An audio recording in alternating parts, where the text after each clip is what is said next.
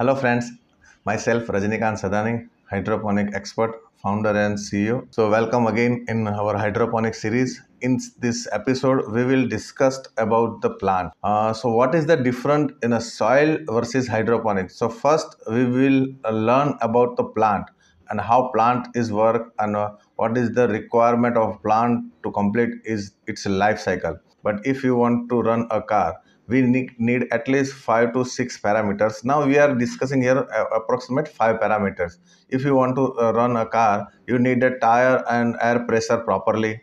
Even you need the fuel uh, properly or sufficient fuel. You want a proper engine in a coolant and brake. Like this kind of parameter is required to run a car same we need some um, minimum five parameters or we will have to maintain minimum five parameters to grow a plant. So for growing a plant first is the water is required to grow a plant. Another one is the sunlight or artificial light is required. Third one is a nutrient npk calcium magnesium sulfur and micronutrient is required to grow a plant Fourth one is a carbon dioxide. Carbon dioxide is a plant food, so again it's required to grow a plant. And another one is oxygen. Uh, plant root system require uh, oxygen. So these five parameters we will have, will have to maintain to grow a plant. So please remember these five parameters to grow a healthy plant.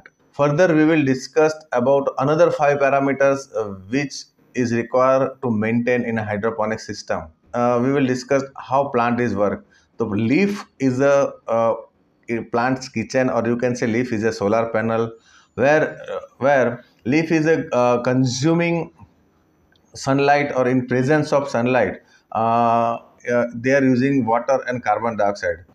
Plant is producing carbohydrate sugar and releasing oxygen as a byproduct. And this sugar or carbohydrate transferring in different different uh, sites of plant like in a root system in a shoot system and they are using this energy to do uh, to create new roots to create new branches and to create new flower and fruit.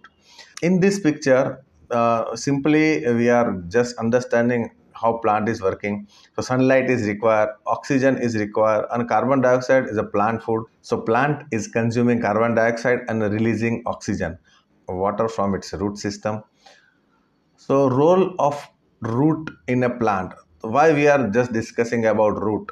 So first uh, we should know about a role of root in a plant. First root is providing anchor or support, absorbing water from uh, ground also along with the nutrient. So and if you are growing plant in a soil and you are growing plant in a hydroponic. So we are changing just the root system uh, environment. If we are growing plant in a soil, and uh, we are removing just the soil and apply a water with a water soluble nutrient. So only the difference is we are not doing any uh, changes in a shoot area. Just we are doing changes in a root area. We are removing soil and introducing water with a nutrient.